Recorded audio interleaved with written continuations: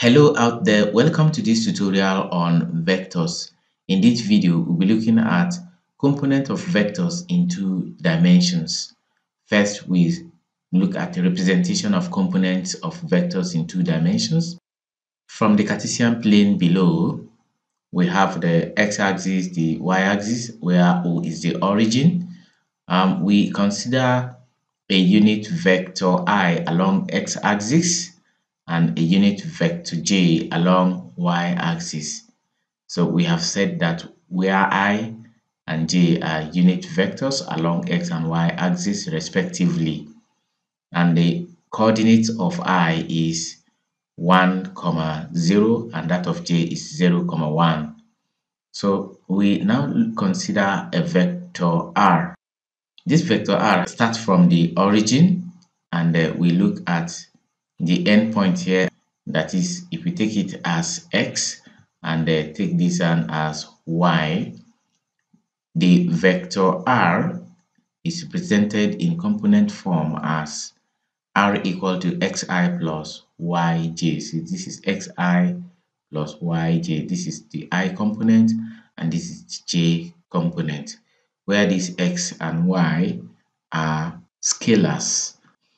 For information, r can also be written as r equal to x, y in column form.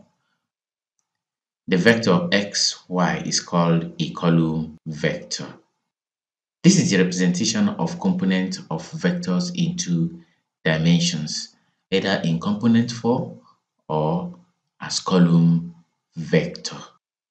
So that is all for representation of components of vectors in two dimensions.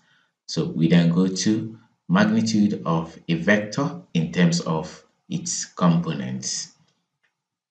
So the magnitude of a vector r equal to xi plus yj is also known as modulus of the vector and it's given as modulus of r equal to square root of x squared plus y squared. So from here, the modulus of r, which is also known as the magnitude of the vector, is the square root of the sum of the squares of the ith component and the j component. So we now look at problems. Find the magnitude of each of the following vectors. We have a r1, R2 and R3. So in our solution, we start with R1. So R1 is equal to 4i plus 3j. So that the magnitude of R1 now is square root of 4 squared plus 3 squared. 4 squared is 16 plus 9, giving us 25. We have it as root 25. And root 25 is equal to 5. And that's all for magnitude of R1. For R2, we have R2 equals negative 2i plus 5j.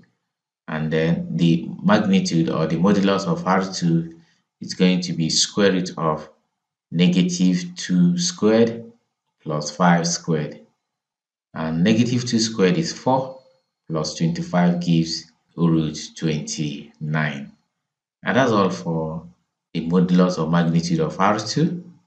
For R3, we have it as negative i minus 7j. So the modulus of R3 is going to give us square root of negative 1 squared plus negative 7 squared. We can equally call it the coefficient of i. So that is going to give us negative 1, which is squared. And here the coefficient of uh, j is negative 7, which is squared and this is 49 plus 1 giving us root 50 and root 50 is simplified as 5 root 2 and that's all for the magnitude of a vector in terms of its components we then go to the direction cosines of a vector in terms of its components the direction cosines of a vector r equals xi plus yj are given as cos alpha equals x over modulus of r and cos beta is equal to y over modulus of r. And if the vector is in three dimensions, remember it's going to be the third component over modulus of r. So we now look at problems. Find the direction cosines of each of the following vectors. We have vectors r1 and r2. So we start the solution from r1. Um, first and foremost, we need to find the magnitude of r1. So magnitude of r1 is going to be square root of negative 3 squared plus 1 squared since the coefficients of i and j are negative 3 and 1 respectively, we have chosen to call them the coefficients of i and j. So we are going to have this is 9 plus 1. That's going to give us root 10.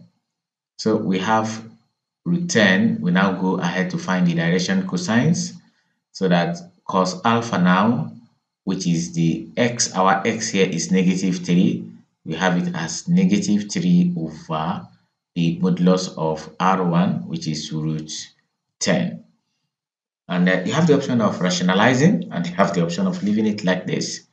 So and the cosine of b is y and our y here is 1 over modulus of r1 which is root 10 and that's all for direction cosines of r1 we then go for the direction cosines of R2.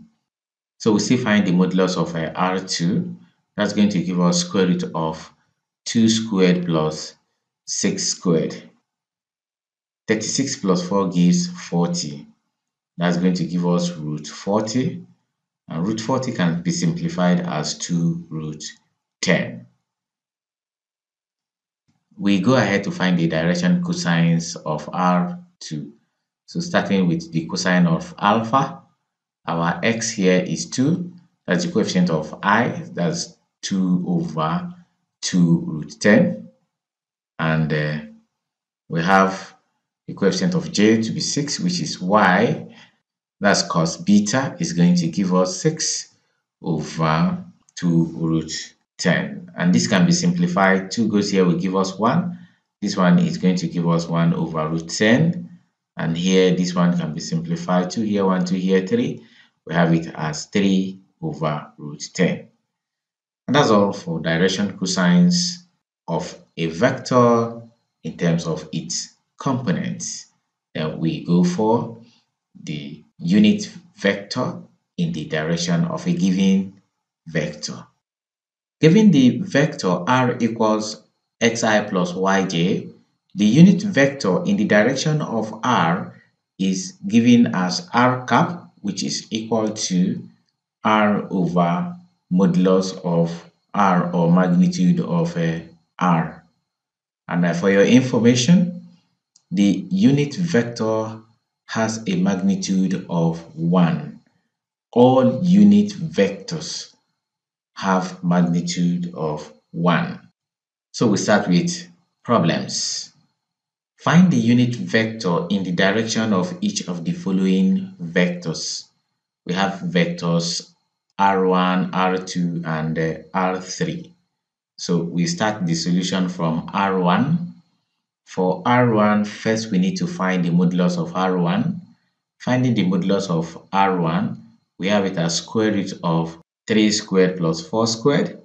3 squared is 9 plus 16 gives 25. We have it as square root of 25 and that gives 5.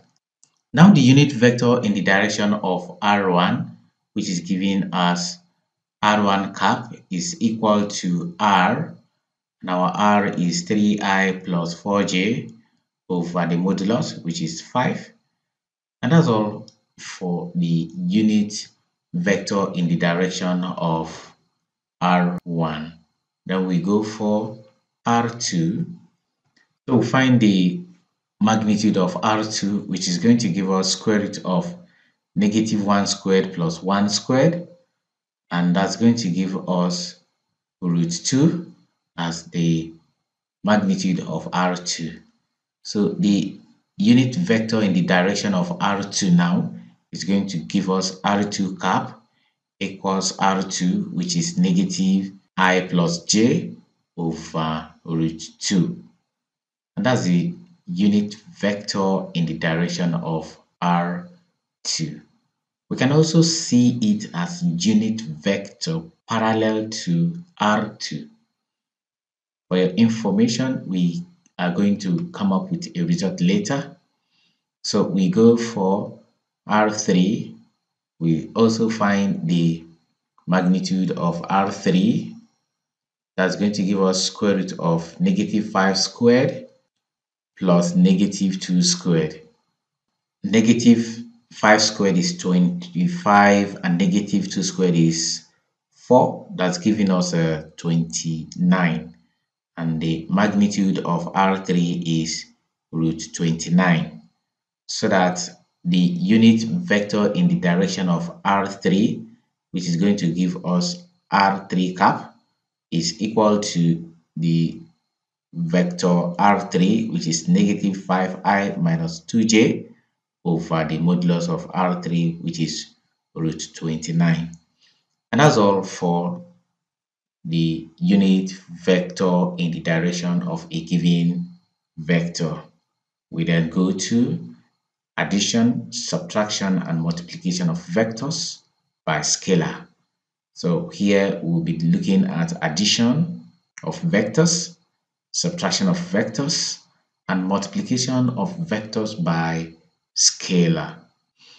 Addition, subtraction, and multiplication of vectors by scalar are done component wise, giving the vectors p equals xi plus yj and q equals ai plus bj.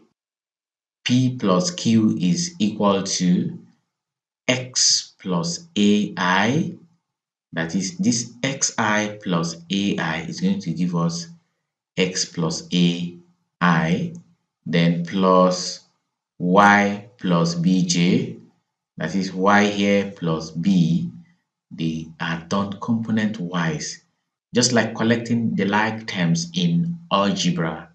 Is okay? So if you know how to simplify algebraic expressions by addition multiplication or expansion of brackets your problem is half solved here so and that's all for addition of p and q then also the subtraction p minus q is going to be xi minus ai. That's going to give us x minus ai. Then plus yj minus bj. That's going to give us y minus bj. And that's all for subtraction. Then alpha p. Alpha p, where this alpha is a scalar Multiplying it by p, we multiply alpha by the component. So that we now have it as alpha xi. If you multiply this xi by alpha, we have alpha xi plus alpha yj. Multiplying alpha by yj, you have alpha yj. Where alpha is a scalar, we have stated it earlier. Um, we look at important results. Vectors P and Q are said to be parallel to each other if P is alpha Q, where alpha is a scalar. Um, we stated earlier that the unit vector in the direction of a given vector are parallel to each other. This is exact demonstration of what we are saying. Remember, it is R over the modulus of magnitude of r. So if you find the magnitude of that value, you are going to have it to be 1. That is the property of a unit vector and it is parallel to the original vector. So now we look at some problems. Given that vectors a equal to 3i minus 2j and b equals negative i plus 7j, find 1 a plus b, 2 a minus b, 3 5a minus 3b. So we start the solution from A. A plus B. We bring vector A, which is 3i minus 2j, plus vector B, which is negative i plus 7j. We said we are going to add them component-wise. So that's going to give us 3 plus negative 1. That's going to give us a 3 plus negative 1, then i plus negative 2 plus 7 then j. So 3 plus negative 1 is 3 minus 1 which gives 2i then plus negative 2 plus 7 gives 5 and that's going to give us plus 5j. That is the result of adding vectors a and b. Then for the second problem which is minus a minus b uh, we are going to have it again as vector A minus vector B. So collecting the like terms, better put, we are going to have 3 minus negative 1i for your information. This is 3 minus negative 1. We said let us look at it as coefficient of i and the coefficient of i here is negative 1. We have it here. Then plus uh, negative 2 minus 7. This is negative 2 minus 7, then j. Simplifying this, 3 minus negative 1 is going to be plus. That's going to give us 3 plus 1. That's going to give us a 4i. Then negative 2 minus 7 gives negative 9. So times this positive will give us negative 9j. And that's the result of subtracting b from a. The third problem. So for the third problem, we have 5a minus 3b. And that's going to give us 5 times a. So we have 5 into a, which is 3i minus 2j. Then minus 3 into b, which is negative i plus 7j. Expanding this bracket, we stated earlier, it is going to be 5 times 3i, that gives 15i. 5 times negative 2j gives negative 10j. Minus 3 times negative i gives plus 3i. And minus 3 times positive 7j gives minus 21j. Collecting the like terms and simplifying, 15i plus 3i gives 18i and negative 10j minus 21j gives negative 31j. And that's the result of 5a minus 3b. And that's all for addition, subtraction, and multiplication of vectors by scalar. We then go to position vectors. From the Cartesian plane below, we have our x-axis and y-axis. This is still remaining as the origin.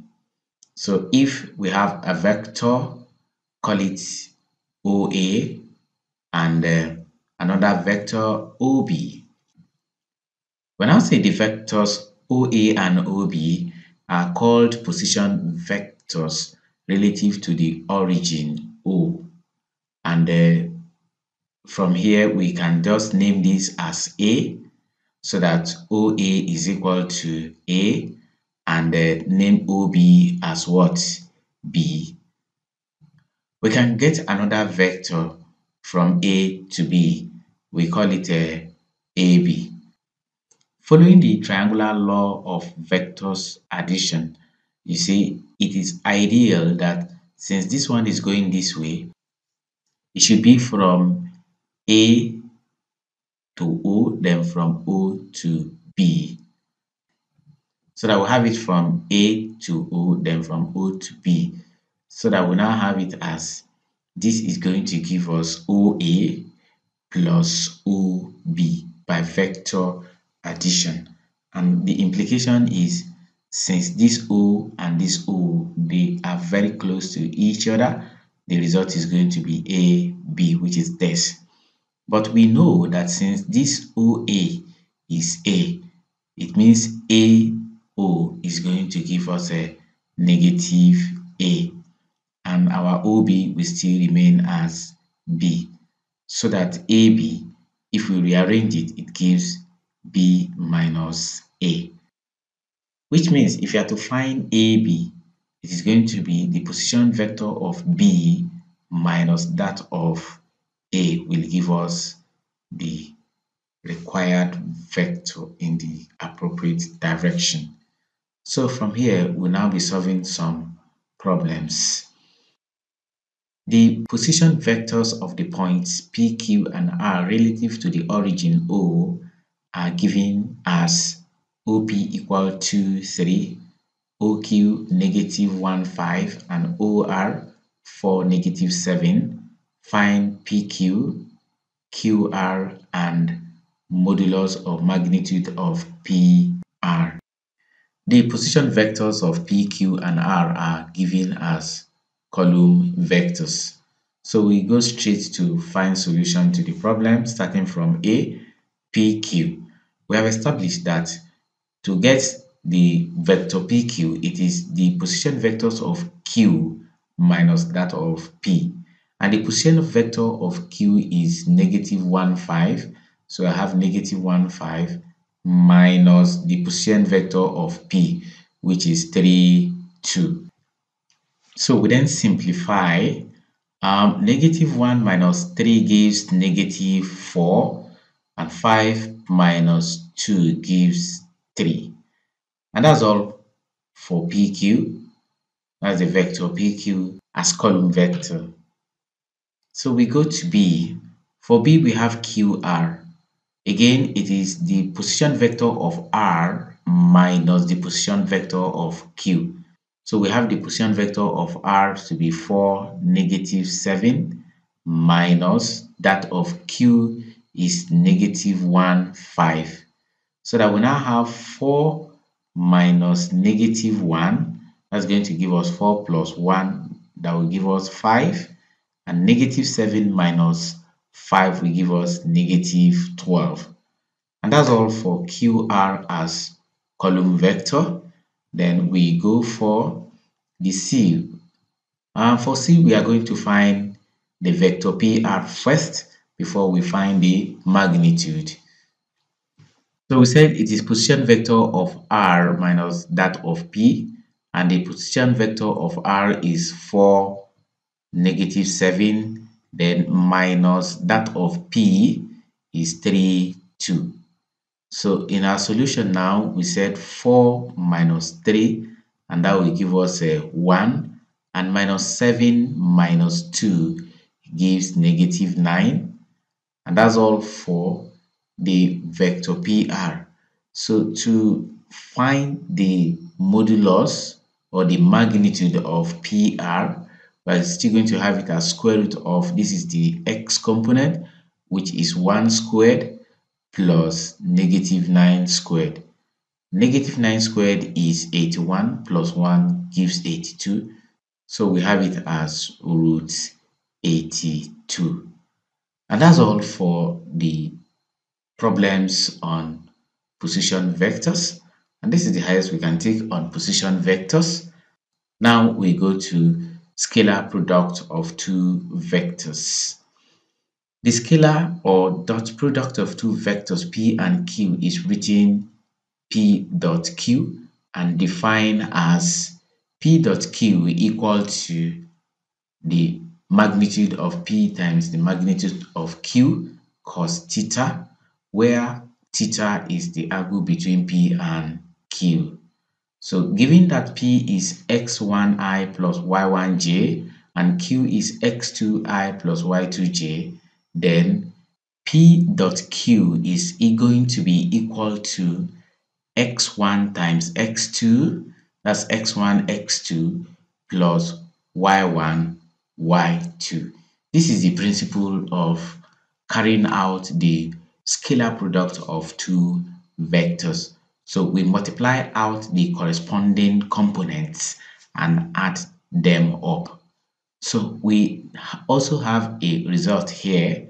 The important result is vector P and Q are said to be perpendicular to each other if P dot Q is equal to 0. That is, if their dot product is 0, then the two vectors are said to be perpendicular to each other. So we then go ahead to solve some problems. Given that vector r1 is equal to 2i plus 4j, r2 is equal to negative i plus j, and r3 is equal to negative 5i minus 2j, find a r1 dot r2, b r2 dot r3, and c r1 dot r3. So we start the solution from a r1 dot r2 is going to give us our R1 which is 3i plus 4j dot R2 is going to give us negative i plus j. So we said we multiply out the corresponding component, that is the coefficient. So said, so we now have it as 3 times negative 1, then plus 4 times 1. So the coefficient of 3i here is 3 and that of i here is negative 1. Then the coefficient of j here is 4 and that of i here is 1. So 3 times negative 1 gives negative 3 then plus 4. And negative 3 plus 4 gives 1. So that is the dot product of R1 and R2. Now for B, we have R2 dot R3. So our R2 is negative I plus J. So we have it as negative I plus J dot I3 negative 5I minus 2J. So multiplying component wise, we're going to have negative 1 times negative 5, then plus 1 times negative 2. Remember the coefficient of i here is negative 1. The, the coefficient of i here is negative 5. The coefficient of j here is positive 1. And the coefficient of j is negative 2. So we simplify negative 1 times negative 5 gives 5 plus negative 2 and uh, 5 plus negative 2 gives 3. So we have the dot product of R2 and R3 to be 3. Then we go to C. For C, we have R1 dot R3, and our R1 is 3i plus 4j dot R3 is negative 5i minus 2j. Multiplying out component wise, we're going to have 3 times negative 5, then plus 4 times negative 2. So 3 times negative 5 gives negative 15. Then 4 times negative 2 gives negative 8. So we have it as plus negative 8. Negative 15 plus negative 8 gives negative 23. And that's all for the solution of problems on the scalar product of two vectors this height we can take here. We then go to angles between two vectors. From the definition of scalar or dot product of P and Q, the angle theta between P and Q is given as cos theta equals P dot Q over modulus or magnitude of P times magnitude of Q. And um, from here, we solve some problems. Calculate the angle between the following pairs of vectors. A, we have uh, A and B. B, we have Q and R. Starting the solution from A, we need to find first the dot product of A and B so that A dot B is that is 5i plus 3j dot negative 2i plus 4j. Now we multiply component wise. That's going to give us 5 times negative 2, then plus 3 times 4. So 5 times negative 2 gives negative 10 plus 12 since 3 times 4 is 12 so that negative 10 plus 12 gives 2 then we go ahead to find the magnitude of A as well as that of B. So the magnitude of A is going to be square root of 5 squared plus 3 squared. 5 squared is 25 3 squared is 9 so 25 plus 9 gives 34 so we now have it as square root of 34 then we find the magnitude of b also. That's going to be square root of negative 2 squared plus 4 squared.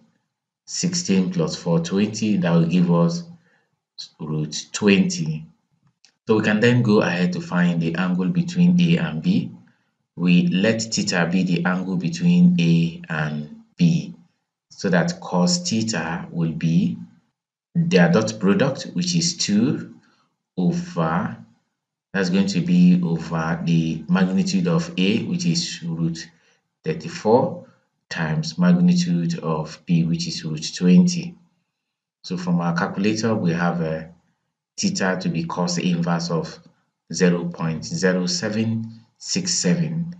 After simplifying this from your calculator, you have 0.0767 and the cos inverse is 85.6 degrees.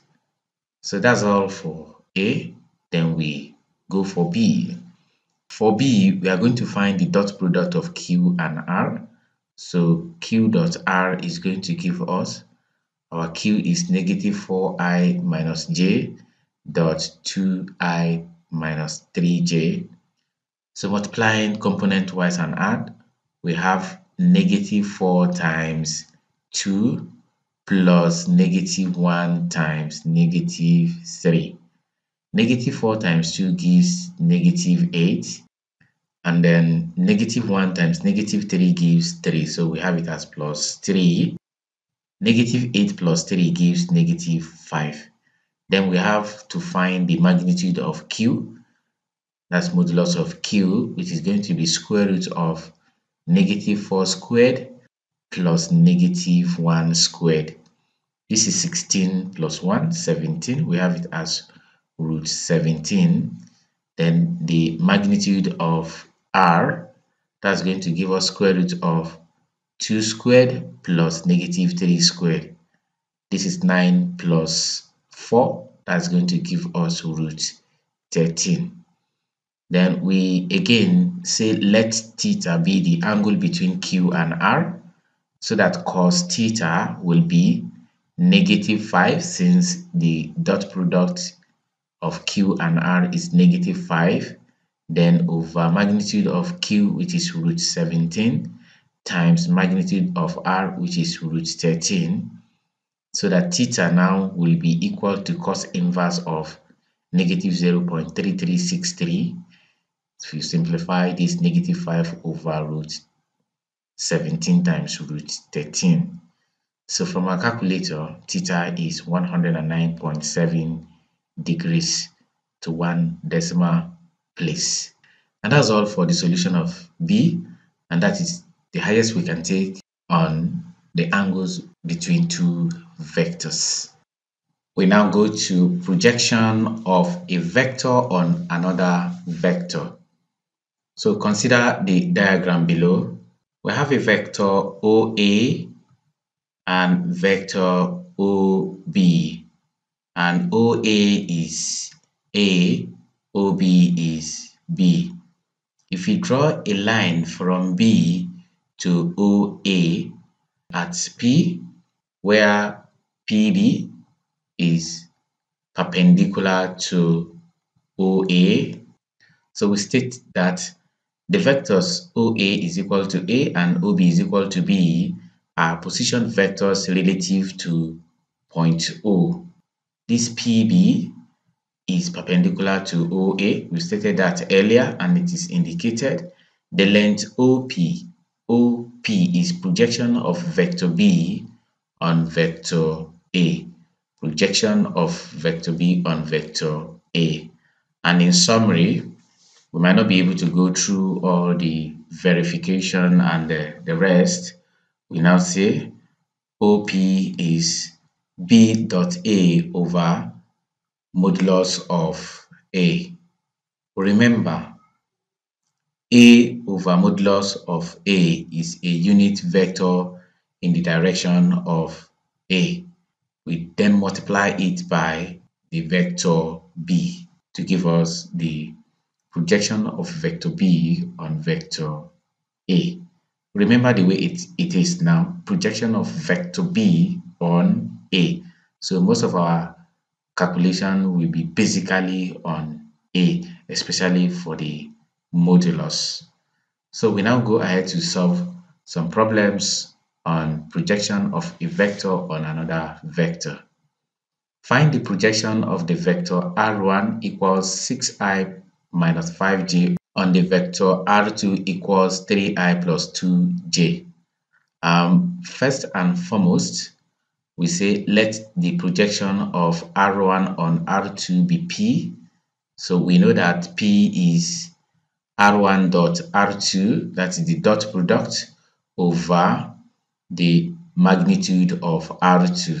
Remember, it is projection of r1 on r2. So our modulus is going to be calculated from R2.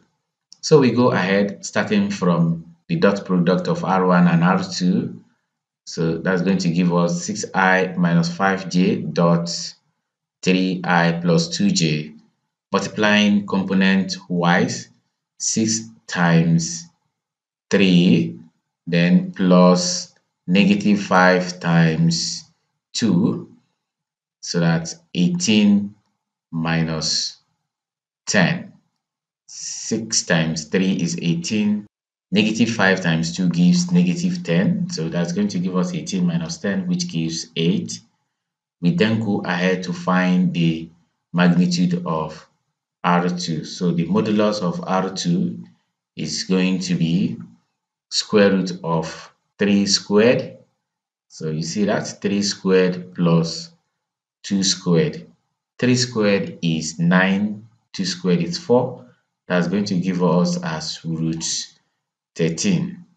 So we then go ahead to substitute to get the projection of R1 on R2. Since we've taken it as P, so the dot product of R1 and R2 is 8.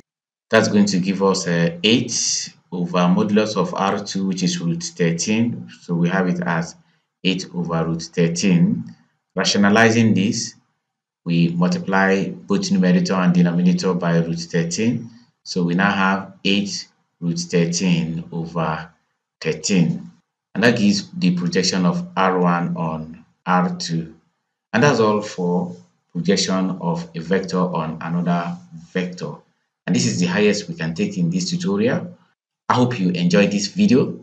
Please like and share this video and remember to subscribe to our YouTube channel. So our next video is going to be on components of vectors in three dimensions.